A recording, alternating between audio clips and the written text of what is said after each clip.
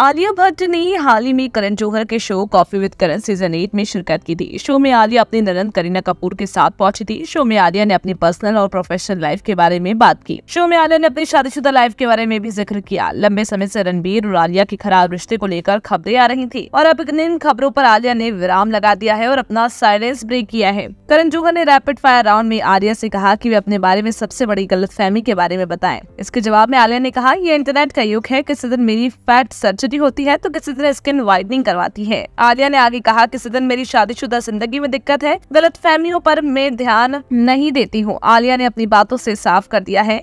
कि उनके और रणबीर का रिश्ता अच्छा चल रहा है और उनकी शादी में कोई खटपट नहीं है। शो में आलिया ने रणबीर को इंटरनेट पर टॉक्सिक हस्बैंड कहने पर भी रिएक्ट किया है। मेरे बोलने का तरीका बहुत कैंडिड है, इसलिए जब मैं अपनी लाइफ में किसी भी चीज़ के बारे में बात कर रही होती हूँ तो मैं उस व्यक्ति की नकल करना पसंद करती हूँ, जिसके बारे में मैं बात करती हूँ। मुझे लगता है हाल ही में हुई कई चीज़ों को बिना बात के उठा दिया जाता है। वर्क फ्रंट की बात करें तो आलिया भट्ट ही फ़िल्म जिगरा में नज़र आने वाली है। वे इन दोनों अपनी फ़िल्म की शूटिंग कर रही है और इसके अलावा आलिया के पास कई सारे प्रोजेक्ट भी है। फ़िलहाल तो Alia Bhatt coffee with Karan season eight के कारण सुर्खियाँ बटो रही है, क्योंकि जिस हिसाब से आलिया भट्ट ने अपने आप को वहाँ पर प्रूव किया और अपनी बात रखी इवन दो रणबीर की भी बात करी है, क्योंकि रणबीर ज़्यादातर सोशली एक्टिव नहीं रहते हैं और इंटरेक्शन से भी बचते हुए नज़र आते हैं। ऐसे में कहना गलत नहीं होगा कि वाकई आलिया भट्ट बखूबी अपने और अपने बिलव्ड हस्बैंड का स्टैंड लेती हैं। ट्रेंडिंग बॉलीवुड अपडेट से बने रहने के लिए आप हमारे चैनल को सब्सक्राइब करें।